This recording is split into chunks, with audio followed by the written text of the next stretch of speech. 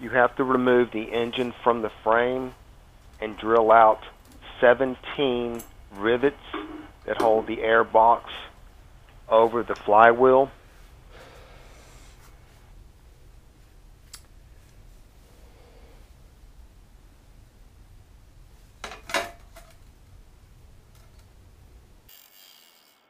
I used a Dremel with a cutoff wheel to grind down the finger screws so they're pinned on and you have to grind down to the point where you can release the pawls and get that assembly off.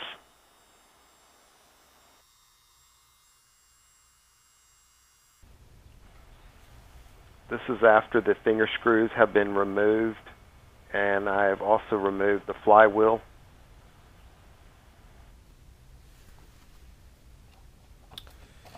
Have to remove the air box that's bolted to the engine. It's held in by four screws. Then I've already replaced the coil. It's only held in by two screws. It's got to be at least 30 thousandths. I think, no, let me say again, that it has to be no more than 30 thousandths and you gauge it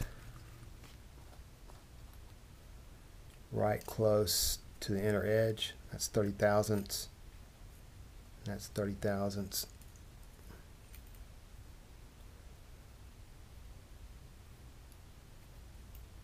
That inner edge right there.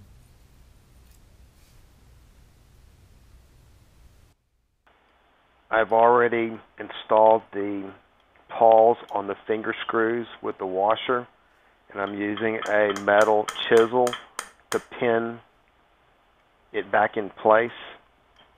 I'm doing it two different directions.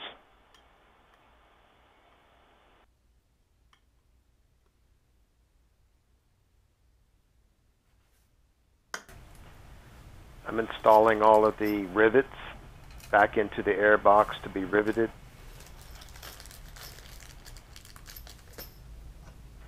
I was following instructions from Southwest Air Sports. I will leave an item list in the description.